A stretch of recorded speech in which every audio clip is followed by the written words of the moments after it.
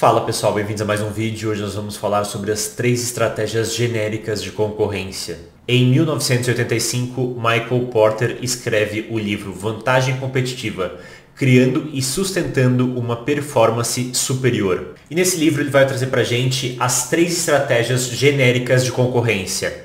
Porter identificou três estratégias que podem ser usadas individualmente ou em conjunto para criar uma posição sustentável no longo prazo.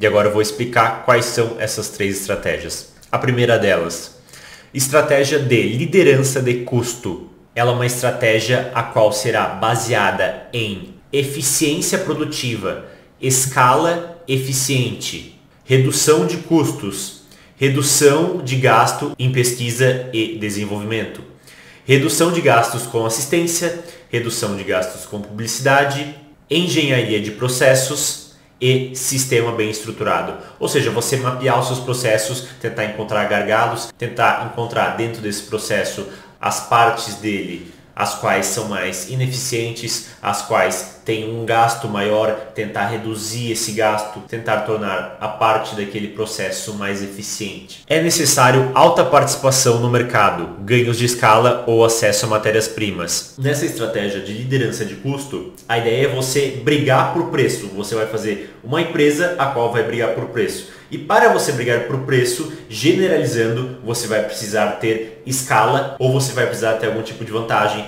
Por exemplo, um acesso fácil às matérias-primas, um acesso preferencial ou alguma proximidade às matérias-primas. Isso pode te dar alguma vantagem, assim como você ter escala e estar onde há ganhos de escala, isso geralmente vai ser uma vantagem para a sua empresa. Nós podemos pensar aqui na ideia de uma empresa que faz alguma peça específica por exemplo, uma empresa que produz parafuso ou que produz prego. Essa empresa geralmente vai estar utilizando uma estratégia de liderança de custo. Ela vai tentar reduzir ao máximo os custos dela. Porque ela quer ter o prego, ela quer ter o parafuso o mais barato possível. E veja, nenhuma estratégia fica 100% isolada, mas nós conseguimos separar na economia que tem empresas as quais tem majoritariamente determinado tipo de estratégia. E quando a gente pensa aqui em uma empresa que faz parafuso, ou então pensa naquelas grandes lojas de varejo, que eu posso pensar aqui na Riachuelo, na Renner, posso pensar na, na Ering e outras marcas, onde elas têm ali claramente uma estratégia voltada a ter liderança de custos. Elas têm uma estratégia em oferecer um produto sim bom, oferecer um serviço bom, mas oferecer um produto barato, oferecer um serviço barato. E eu posso pensar em outras marcas de roupa que já tem uma visão diferente, que já tem uma estratégia diferente. E é sobre isso que nós vamos falar agora. Estratégia de diferenciação. Firma busca diferenciação, menor foco em redução de custos e maior foco em ser percebido como produto ou serviço singular. Foco no projeto ou imagem da marca. Tecnologia, tradição, rede de fornecedores, investimento em produção e desenvolvimento e marketing. Aqui nós temos um outro foco, diferente da empresa de prego ou diferente daquela empresa que opera no atacado, num atacarejo ou até uma rede varejista low cost, de baixo custo, nós temos também aquelas marcas onde a proposta dela não é ser a marca mais barata possível, a proposta dela é ser a marca mais diferenciada possível, a marca com mais qualidade, a marca com mais tradição, a marca com mais tecnologia, a marca com o melhor marketing, a marca a qual vai te oferecer o melhor serviço você vai chegar lá na loja e a atendente vai perguntar se você quer uma taça de champanhe, se você aceita um copo d'água, se você quer um café expresso. Ou seja, vai haver uma diferenciação nesse serviço. A ideia dela não é brigar por preço, não é fazer a camiseta mais barata. A ideia dela é oferecer a camiseta mais diferenciada, com a melhor tecnologia, com a melhor qualidade, com um marketing melhor, com mais tradição, com um serviço melhor na loja. Essa vai ser a ideia dessa marca. A estratégia de mercado dessa marca é diferente. A gente pode pensar aqui também na ideia da sorveteria. Você tem basicamente dois tipos de sorveteria. Aquela sorveteria onde você vai comprar o sorvete por quilo e aquela sorveteria onde você vai pagar o sorvete por bola. Geralmente essa sorveteria aqui é bem mais barata do que essa sorveteria aqui. Essa geralmente, para facilitar nosso exemplo, vai ser a sorveteria do tio João. E essa sorveteria aqui vai ser uma sorveteria com algum nome italiano. Essa sorveteria aqui vai te oferecer assentos estofados e vai te oferecer ar-condicionado dentro da sorveteria. Talvez essa sorveteria aqui não vai ter o ar-condicionado ligado e não vai te oferecer assentos estofados, vai te oferecer ali um assento de plástico. Ou seja, a ideia dessa sorveteria aqui é oferecer o melhor preço. E a ideia dessa sorveteria aqui é oferecer o melhor produto, oferecer o melhor serviço, não é oferecer o melhor preço. Tanto que 99% dos casos, para não dizer 100%, essa sorveteria aqui vai ser mais barata do que essa outra sorveteria. Mas veja, as duas sorveterias têm uma estratégia por trás. Uma estratégia é redução de custos e outra é diferenciação. Por outro lado, nós não vemos muitas sorveterias que estão no meio do caminho. Aquela sorveteria a qual, ao mesmo tempo, vai oferecer o melhor custo e o melhor produto, o melhor serviço. A sorveteria que fica no meio geralmente acaba tendo dificuldades. Vamos agora falar sobre a estratégia de enfoque ou de foco. Escolha de alvo restrito, nicho. Especialização, Firma atende a determinado comprador, tem uma linha de produto ou mercado geográfico. Pode tanto optar pela estratégia de diferenciação quanto pela estratégia de custos. Bem, essa seria a nossa terceira estratégia. Muitas vezes você tem um mercado que já está relativamente bem servido, mas você pode encontrar um nicho dentro desse mercado o qual não está sendo bem servido. Digamos o mercado de vestuário. Está relativamente bem servido mas há uns anos atrás, algumas marcas começaram a focar mais no setor plus size dentro do mercado de vestuário. Eles acharam um nicho dentro do mercado de vestuário.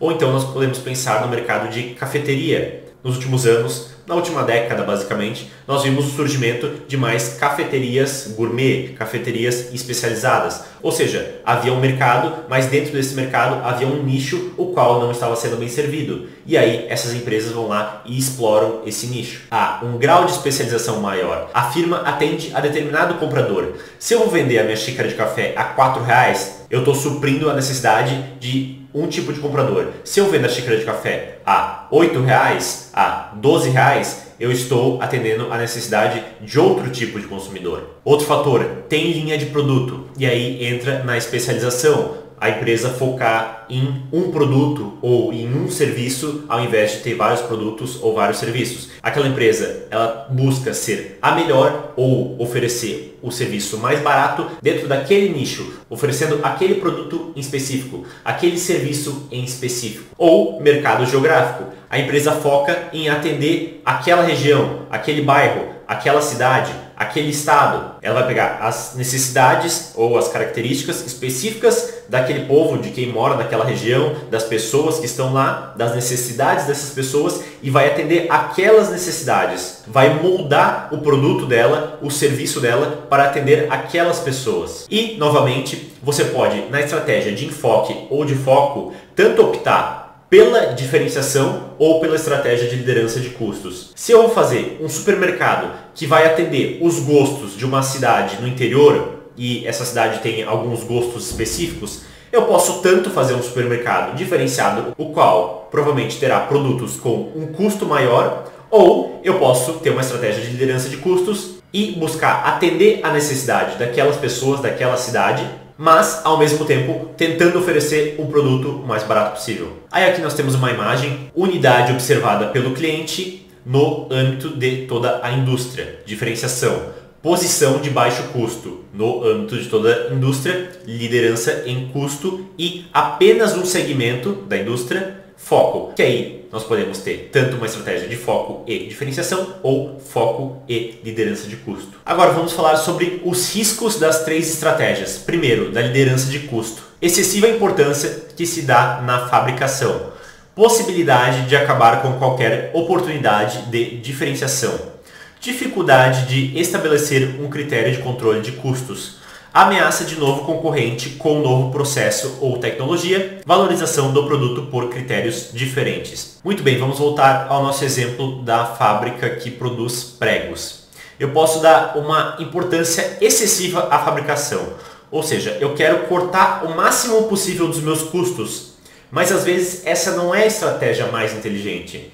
Talvez eu investir um pouco mais em marketing, eu oferecer um serviço melhor, eu investir um pouco mais em branding, eu investi um pouco mais em produção e desenvolvimento fazer um prego diferente, um prego mais resistente, é, um prego produzido de uma forma mais barato, seja mais interessante do que eu simplesmente focar 100% na redução de custos. Possibilidade de acabar com qualquer oportunidade de diferenciação. Novamente, branding é uma forma de diferenciação. Ou então eu investir em produção e desenvolvimento é uma forma de encontrar meios de me diferenciar via tecnologia, via um processo mais eficiente, um processo mais barato. Dificuldade de estabelecer um critério de controle de custos. Novamente, vou dar o exemplo do marketing. Se eu estou gastando 10% do meu faturamento em marketing, será que eu não deveria gastar 5%? Será que eu não deveria gastar 20%? É difícil você fazer essa alocação ótima, porque você quer reduzir o máximo possível os seus custos, mas novamente, às vezes essa não seria a melhor estratégia. Talvez aumentar um pouco os seus custos em determinados tipos de serviços, de produtos, seria o ideal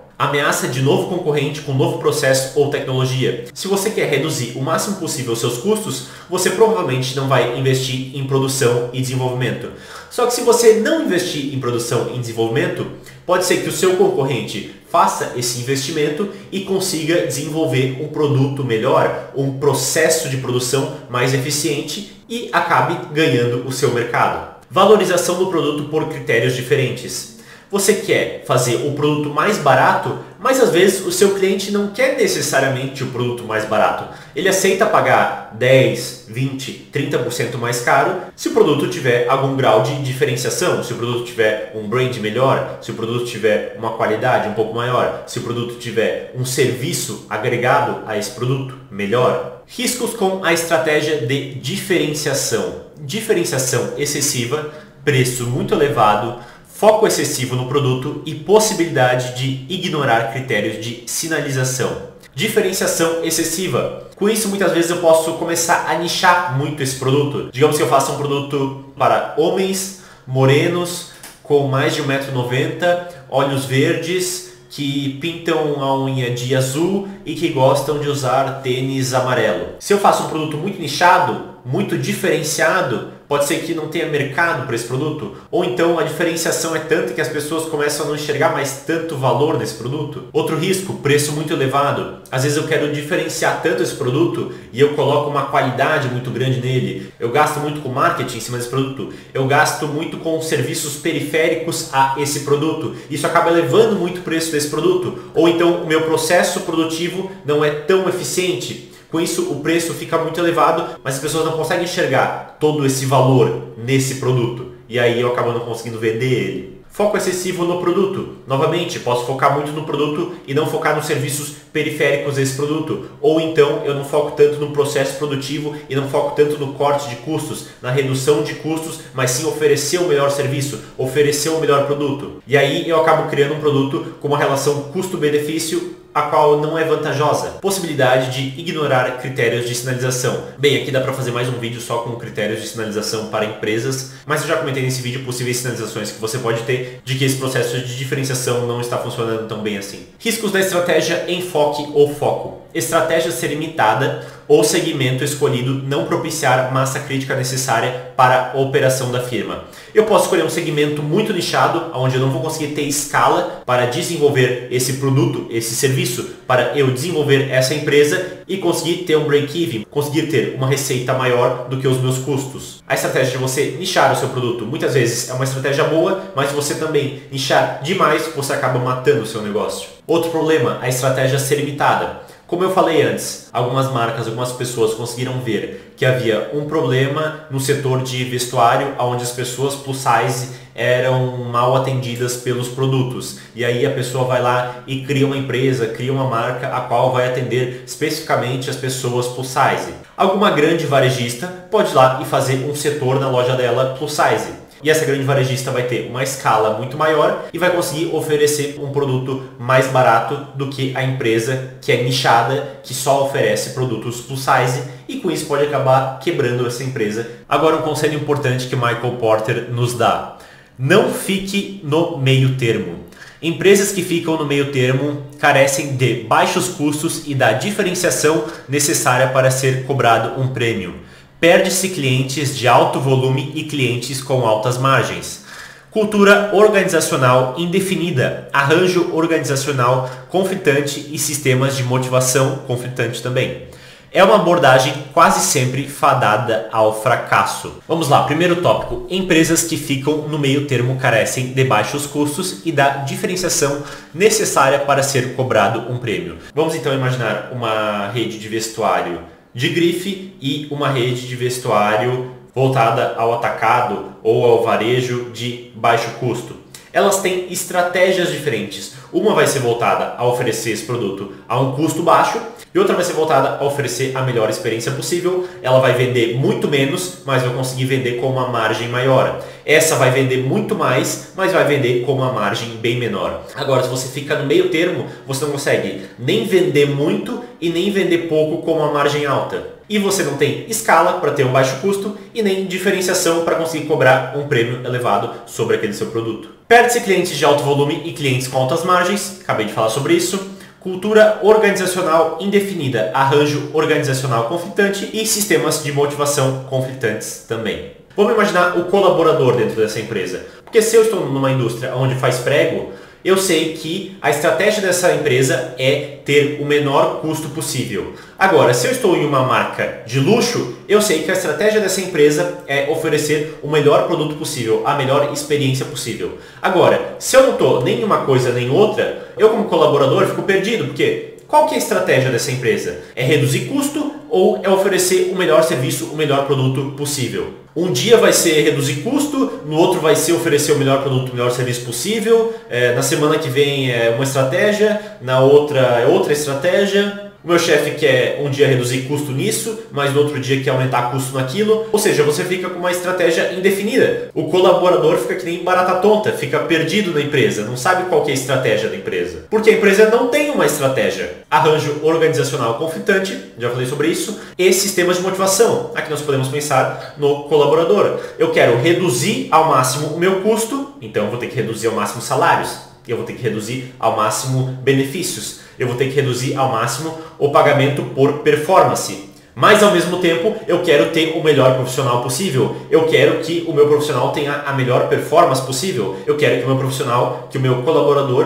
vá oferecer o melhor serviço possível para o meu cliente. Bem, mas aí fica difícil, porque eu não estou dando nenhum incentivo para o meu profissional oferecer o melhor serviço mas ao mesmo tempo eu estou cobrando dele o melhor serviço. Uma coisa acaba não encaixando com a outra. Tem empresas as quais tem como política oferecer muitos benefícios, oferecer um salário acima da média do mercado, mas por outro lado, eles vão querer o melhor profissional e eles vão querer o melhor serviço. Outras empresas, as quais a ideia não é ter esse grau de diferenciação, mas é reduzir o custo, vão fazer o contrário mas ao mesmo tempo elas não vão conseguir atrair pessoas tão especializadas, pessoas que vão fazer um serviço na mesma qualidade do que a empresa que paga mais, o que é algo meio óbvio. E aí existe uma relação conflitante entre uma performance alta e um pagamento alto e uma performance baixa e um pagamento baixo. E para terminar, Michael Porter nos diz, é uma abordagem quase sempre fadada ao fracasso. Michael Porter defende que você deve ter uma estratégia, você deve ter um posicionamento nesse mercado. Não dá para você ficar no meio termo. E aqui eu vou dar de novo o exemplo de vestuário. Você pode ver as marcas as quais têm uma estratégia definida de oferecer o produto mais barato possível, elas costumam durar muito tempo. As marcas as quais, dentro do setor de vestuário, oferecem um produto extremamente diferenciado, extremamente focado em qualidade, em tradição, em oferecer o melhor produto e o melhor serviço possível, essas marcas tendem a durar a longo prazo. Agora, aquelas marcas que ficam no meio termo, as quais nem oferecem um produto mais barato e nem oferecem o melhor produto, de vez em quando essas marcas estão quebrando. Se você pensar as marcas que existiam há 30 anos atrás e que hoje existem, generalizando, elas vão estar em algum espectro, ou buscando o melhor custo possível, ou buscando a maior qualidade. Quem fica aqui no meio, as marcas de vestuário que ficam aqui no meio, não costumam durar muito tempo não costumam durar décadas. Você pode ter um hype momentâneo da marca e ela durar alguns anos e ser lucrativa e crescer, mas depois de certo tempo o hype acaba e a marca quebra ou fica insignificante. Bem pessoal, pelo vídeo de hoje é isso, espero que vocês tenham gostado, um abraço e até a próxima.